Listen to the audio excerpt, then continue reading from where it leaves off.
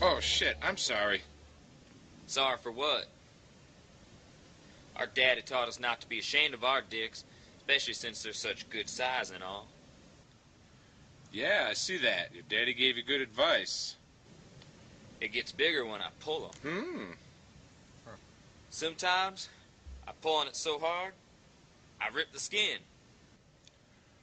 My daddy taught me a few things too, like uh, how not to rip the skin by using someone else's mouth instead of your own hands. Will you show me? I'd be right happy to.